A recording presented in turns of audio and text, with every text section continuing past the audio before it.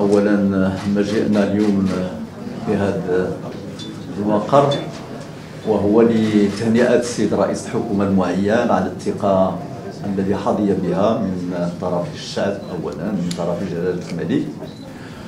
وكذلك لنستمع إليه لآرائه للطريقة التي يريد أن يشتغل بها لتكوين الحكومة.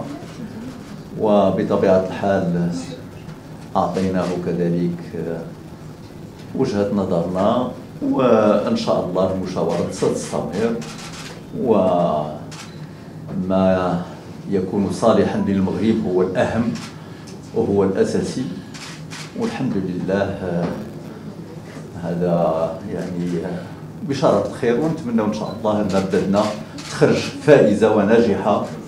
بالحكومة الجديدة التي سيقودها السيد الرئيس السي عزيز خنوش